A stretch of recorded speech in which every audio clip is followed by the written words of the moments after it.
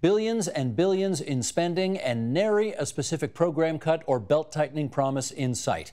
That's what voters have heard from the three major parties over the past few weeks. It's a far cry from what some more prudent voters might want to hear about debt, deficit, and good fiscal housekeeping.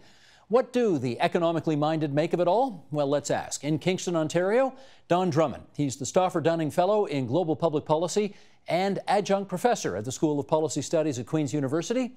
And here in our studio, Rosalie Wyonch, policy analyst for the C.D. Howe Institute. And Rosalie, nice to have you back on the program. Don Drummond, you too as well from Kingston. I want to just start by reading something that the former parliamentary budget officer, Kevin Page, uh, as quoted in the Globe and Mail, it is difficult to make the case that any of the platforms, any of the platforms, are fiscally responsible or are grounded in a prudent economic strategy.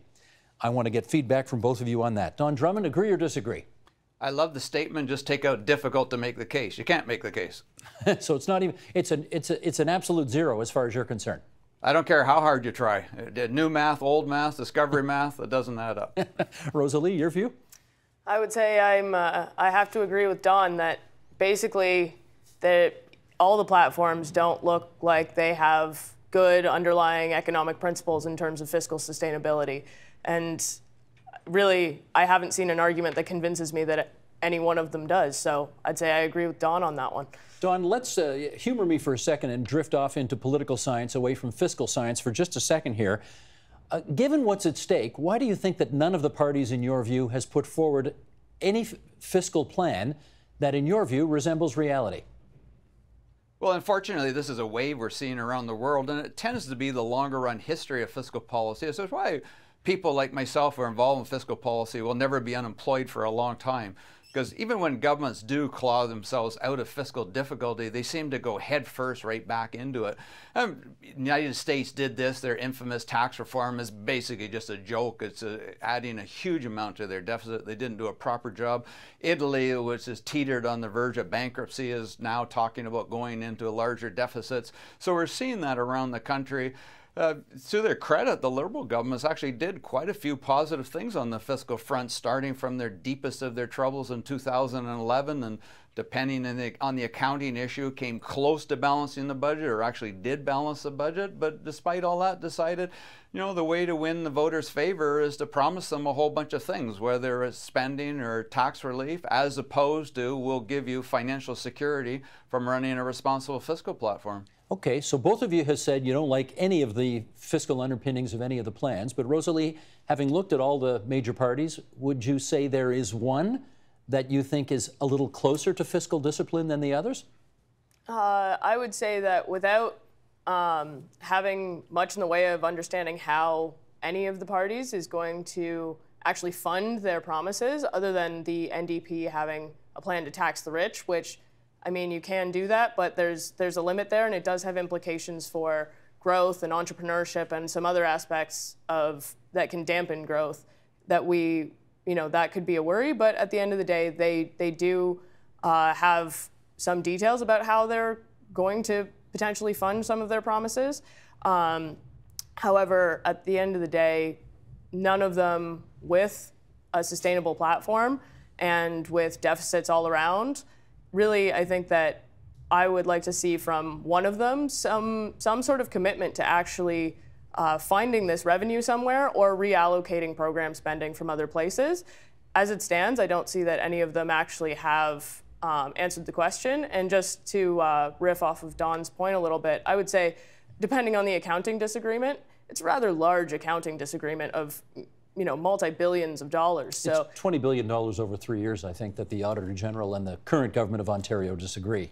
Exactly. So, I mean, depending on what side of the argument you land on that, you could say that they are close to balance, or you could say they're very, very far from it. Right. So I would say that really none of the parties have come very close to it. Uh, I appreciate, Don, that's your position as well. But if you if you had to look at the four main parties' platforms, is there one that you think at least gets closer to the kind of fiscal discipline, paying for programs, et cetera, that I know you care about? Well, from the overall fiscal perspective, the Liberal plan, the NDP plan are very similar. The measures within it are, are are differ in, in, some respect, but basically they envision on the government's accounting basis running deficits of five to six billion dollars a year if you adopt the accounting that the Auditor General recommends. And the, by the way, the Auditor General is right. Whoever comes into power after June 7th will have to shift the accounting those deficits are 11, 12 and a billion dollars a year. I'm not going to make a big distinction between an 11 to 12. The conservatives one's got a lot of blanks in it. So one thing that's really intriguing in the so-called plan that they did finally release, there's no mention of it of this infamous 4% or $6 billion a year cut in spending, which I don't think is sincere at any rate. You can't cut 6 billion and not affect any services and not affect any jobs. It wouldn't even make any sense to try to go about that. So even if they did get that $6 billion, their plan is at least as high deficits. And without that, their deficits under the conservative plan, kind of ironically, I say ironically because they're the only party really talking about fiscal discipline, but actually the plan they put forward may actually have the highest deficits of the three. Rosalie, what's your view on the Tory plan, such as it is? It is not a fully costed plan as the others are, but it's something. Whether or not that 4% in efficiencies can be found is definitely questionable, and there would need to be some details as to where that's going to come from because it can't just come from staff or it can't just come from program spending because it's that is a very significant cut, and it would definitely uh, end up hurting public services depending on where it comes from. And event you can't cut staff forever. There, you do need people to actually work for the government and deliver programs, and so the, and as well, they've made program commitments. So that, in a way, is actually a growth in government. So if we're finding these efficiencies but growing government at the same time, I uh, am a little skeptical about the savings that you would find there. Well, let me pick up on that with Don because the, the conservatives have promised on significant tax cuts over the course of what presumably is a four-year term should they win a majority government. They have also off, offered to ramp up spending quite significantly in some other areas as well. Can you do both simultaneously without blowing a hole in the deficit? Oh, clearly you can't. We're now, now we're not talking about policy. That's just a question about math. And no, you can't do that mathically. Uh, one of the things I really dread hearing is on June 8th, whoever wins will say, now we're in power, we've looked at the books, and they're a lot worse than the previous government led us to believe, and we're going to have to change our plans. And, and why I dread hearing that is because there's no basis for anybody to say that. Whether you like the Liberals' budget in March, it was all there. There's over 300 pages of details of it. You can't say you're surprised by the accounting issue with the Auditor General. The Auditor General's laid it out very clearly. The Financial Accountability Officers laid it out. The C.D. Howe Institute has laid it out very quickly. All of the platforms should be based on the correct accounting right now. And we know what the pressures are. And I'll throw in another one.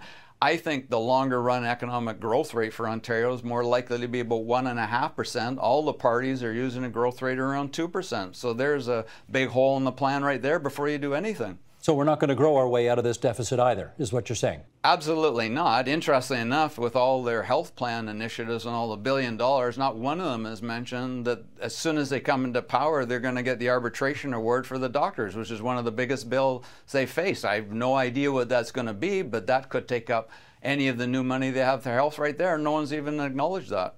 Well, it's, I mean, it's probably 800 million to a billion dollars, right? That's a fair assessment? Well, eh, eh, and, and in terms of a fiscal hit, it's relative to what they have implicitly based in their plan. And of course, I have no idea what any of the parties have implicitly based in their plan and their expectation for that award. Mm-hmm. Rosalie, let's see if we can just sort of understand what happens with the debt. Meaning, every year, the finance minister in Ontario goes to the markets, borrows a lot of money to pay for the promises that he or she will make going forward. And we're at about $320 billion and counting right now of money that needs to be paid back. What happens? Interest rates are very low right now. What happens if interest rates go up? Does that automatically mean that the amount of money we have to pay, the interest on that debt that we have, does that also go up?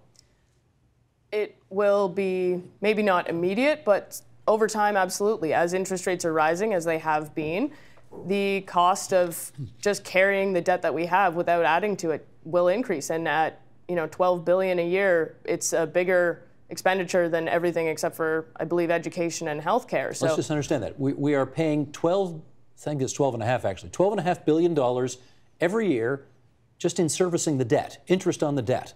Exactly. Okay. So I mean, if we were, if we're going to add to that debt, then we're essentially borrowing from the future. And so our interest already costs more than quite a few areas of programming. And if they are going to continue to add programming and we're adding to the debt, then you know we're we're simply adding to debt, adding to interest to add to programs. And so it's really at the end of the day we're adding on top of adding in not the right direction. Hmm. Don, let me just, I, I, really want to make sure that we're clear on this. If, for example, the government of Ontario goes to the markets and says, I need $6 billion to pay for all the promises that we're making this year, I, I want to borrow the money at, let's say, 1.5%, do they not then, therefore, get that 1.5% interest rate for the next? I mean, can they not lock that in for 25 years or so? Well, they can borrow long term, but Ontario does already pay a premium. And if we look, we actually have an unprecedented situation where the credit rating in Quebec is actually now better than Ontario, even though the debt burden is higher in Quebec because the credit rating agencies like the direction Quebec is going, which is in the direction of fiscal discipline, and they're very worried. So you do actually end up having to pay a premium on it. Another way of looking at that that I think Ontarians can relate to, because everybody just finished off paying their taxes at the end of April. For every dollar you pay in taxes in, uh, in Ontario, eight cents of that gets skimmed off to pay interest on the public debt. So you ask yourself, what do you want from your Ontario government? Will be health and education and safe streets and police services and fire services. Well, you're working with a 92 cent deck. Eight cents of it is just getting burned to pay for something that somebody, probably somebody else, consumed in the past. And that number will go up automatically on its own as interest rates go up. And so less and less of the money is going to be available to pay for what people want. Rosalie, what other factors would you say are contributing to the precarity of the situation right now in terms of all of these financial numbers we're talking about? Well, I would say that really uh, we're at a pretty good position economically. We've had growth for quite a long time, and there's just not a good economic argument for adding stimulus spending at the moment, just because really I think that, as Don said, we're already skimming off eight cents on every dollar that we pay in taxes. And so there's, and part of the, uh, part of the province's fiscal situation is the debt to GDP ratio.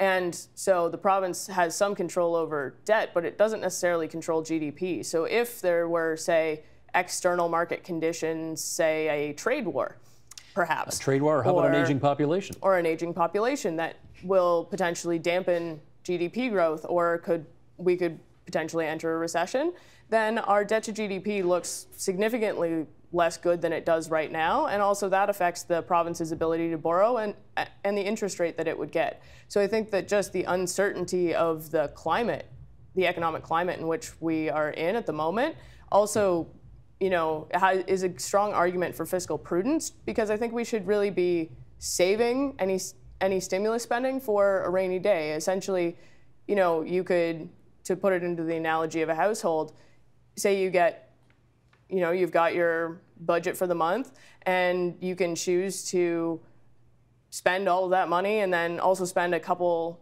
hundred dollars extra on your credit card. And you can do that for quite a long time, but after a few years, if you know your car breaks down, then your credit card's maxed out and you don't have any money to pay for something when you need it. So a day of reckoning comes eventually. Eventually, and I think that we we need to be looking at hmm. that day as potentially coming sooner rather than later. Well, let me follow up with Don on that. You know, the, the Great Recession, as, as it's been called, started uh, 10 years ago this year, or actually a little bit longer.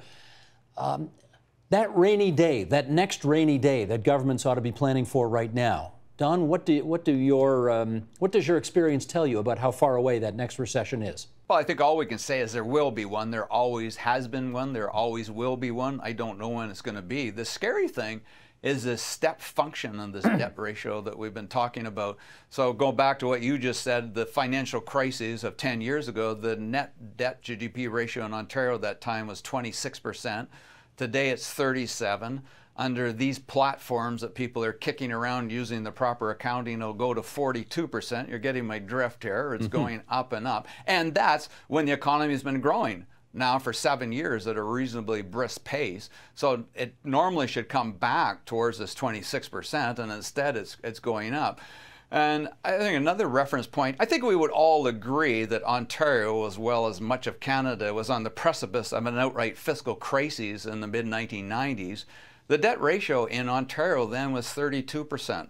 Hmm. So we're, we're going talking about being 10 percentage points above what everybody agreed was a crisis just a couple of decades ago. Well, in which case, let's talk about what some of the solutions are. And Rosalie, I know that, I mean, you gave me a chart before we went on the air here. Uh, nobody wants to pay more taxes. That's just the simple fact of life. But the reality is, if, for example, the harmonized sales tax were to be kicked up one point, what would that do to the bottom line of the province of Ontario? Well, uh, just a bit of a back of the envelope estimate puts it, you know, at about five to six billion dollars. And so, if we were all willing to pay one more point on GST and or the HST, then that would cover some of that deficit, but really to uh, cover what the deficits that we're looking at under the proper accounting methods, we're looking at two to three percent before we even get these new programs that are associated with all the platforms. So I think uh, as we already have some of the higher consumption tax rates, it's something that Ontario voters, I think, should be aware of. And I would actually like to see the parties have, or voters insist on parties connecting their promises to how they're going to fund them. Because at the end of the day, the, as we've said, the debt, there's a limit. We can't just keep adding on to it. And so if voters were more aware of the tax burden and what you know they're aware of the dollars out of their pocket that are going towards these programs, then maybe they would uh, be a little bit choosier as to what they they actually wanted, and it would hold the hold the parties to account. Don, in terms of what actually works best for the economy, meaning what promotes economic growth, what has less of a likelihood of having jobs. Um, un, the word that popped into my head was uncreated. That's not the word I'm looking for, but whatever, whatever would dampen down job creation. Is it better if you want to reduce the size of that deficit? Is it better to increase the HST by a point, or is it better to go out and find, um, oh, I don't know, 4% savings uh, in government programs the way Doug Ford's talking about? Well, well, I would I, I, if, until you mention the Doug Ford thing because I don't think that's a genuine effort. That there's no detail. I have no idea what they intend to do. And as I said, in that 28-page document that they released, that does not appear. So it may actually not be part of the platform anymore. I, I don't know about that. But I would rather look at the here's the way I look at it. Since 2011, spending in Ontario government has increased just a little bit over two and a half percent a year. Let's call it two and a half percent a year. And that's gone down, and everybody's recounting of it. That was a brief, very painful period of austerity necessary to deal with the fiscal excesses at the 2011 mark. I don't look at it that way at all. That is what the future looks like. If I'm right that the Ontario economy is only going to grow about one and given that it needs to not just balance its budget but run surpluses to bring down debt, the future is something like two and a half percent spending growth. And I get it. If I was a politician, that doesn't sound like a lot of fun. Because not only have you got to keep the spending modest at 2.5%, you can't do what they did starting in 2011, like st starve the capital budgets on, on, the, on the healthcare front. You actually have to roll up your sleeves and do the hard reforms to make people get the right services and the right outcomes from it at an efficient delivery. And that doesn't really interest a lot of politicians. It's better just to say, from their perspective, we're going to spend billions. You can't do that. You actually have to go in and reform health and education and everything else to make sure they run more efficiently. And yeah, that's probably going to affect some services, but hopefully to improve them. Okay, but having said that, Don, uh, go back to your time as Deputy Minister of Finance. If you had recommended to whatever finance minister you worked for at the time and said, you know, if you raise the HST by one point, we can realize another five to six billion dollars in revenue, would that be injurious to the economy to do that? Well, let's put it this way. If you had to go to the tax side, that would be the way to go. Um, I would say that or an environment related tax. Uh, but that wouldn't be my first line. if I was doing the briefing, I would have that off to the side and say, I am going to make you stay here a long, long period of time, and we're going to exhaust what we can do on the expenditure side before we go to that tax book. But when we do go to the tax book, yes, the HST would be on the head of the list. Gotcha. Let's talk for a second here, Rosalie, about the Ring of Fire. Politicians for 10 years have been saying the Ring of Fire is going to be our budgetary salvation because there's apparently $60 billion of stuff in the ground there that if we can actually get to it, mine it, sell it, uh, we're going to be fine. Is that accurate? Well, I would say they've been saying it for quite a long time. And yes, resources in the ground are worth something, but they're only worth something if you can sell them. And so we've been trying to develop that for quite some time, and also to actually get those resources out of the ground requires is still going to require some spending. You have to invest to be able to actually be able to profit. And since there are a number of, uh, let's say, hurdles that are should be there, where you have, you know, you need to consult with the local indigenous populations. There's regulatory and environmental concerns, and really, I just think that we shouldn't count our chickens before they hatch and saying, well, we're just going to take the resources and sell those. That's, that's just a way to sort of pass the buck to say, oh, look, we've got this big pile of money over here that we, are just going to use that. Hmm. But if that were in fact the case, then maybe it would have already been part of the fiscal plan up to this point. And I'd say that resources in the ground shouldn't be counted as an, as an asset until we can actually figure out what to do with them. Gotcha. Let's, uh, we got a few minutes left here. I want to touch on a couple of more things. Um, Don, let me read something that Jack Mintz, the economist from uh, Calgary, uh, had in the Financial Post the other day. He said one way to deal with that debt burden is through faster economic growth. But Ontario faces a larger growth challenge now that it's lost the advantage it once had in competing with nearby American states for investment. Regulatory and tax reforms in the U.S. are luring capital, people, and profits from Ontario. If he's right, if Jack Mintz is right, Don, what should we do about that? Well, uh, we know what Jack Mintz would say. We should be lowering the corporate tax burden. Is the opposite of what the NDP did. I think we could have a reasonable debate about that. We certainly don't want to create a disadvantage, and that's exactly what the NDP platform would do, particularly given the trade vulnerabilities that are going on right now. So we did have a major corporate tax advantage over the United States, although we were in about in the middle of the pack compared to other developed countries. Now, at absolutely best, we're fairly equal with the United States. We're a smaller jurisdiction. Everything else equal, would probably want to have an advantage. So that's why if you ask me what will be on the list for the tax options, the revenue options, I certainly wouldn't have the corporate side on that. That would have to be uh, more on the HST or the environmental tax side. But on the environmental tax side, I would emphasize not as a source of revenue, but simply to change the mix of revenue. Rosalie, if we could do one significant thing to encourage more economic growth in the province of Ontario, thereby presumably bringing in more tax revenue and being able to chip away at that debt, what would you say it should be?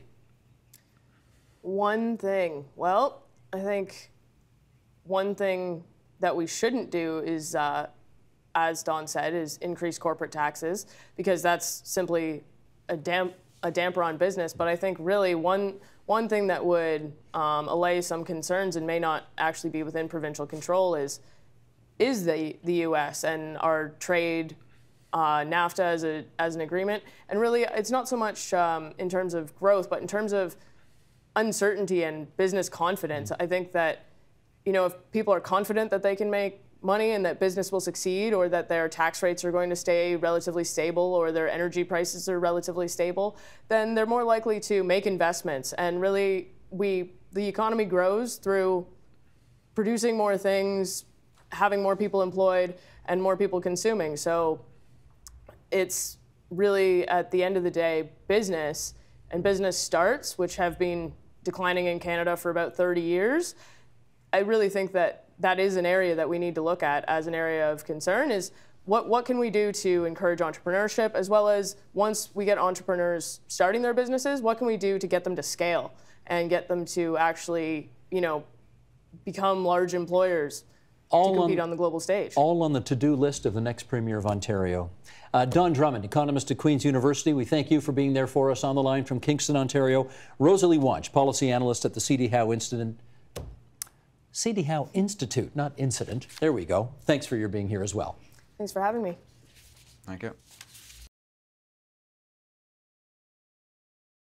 The Agenda with Steve Paikin is brought to you by the Chartered Professional Accountants of Ontario. Helping businesses stay on the right side of change with strategic thinking, insightful decisions, and business leadership. Are you on the right side of change? Ask an Ontario CPA.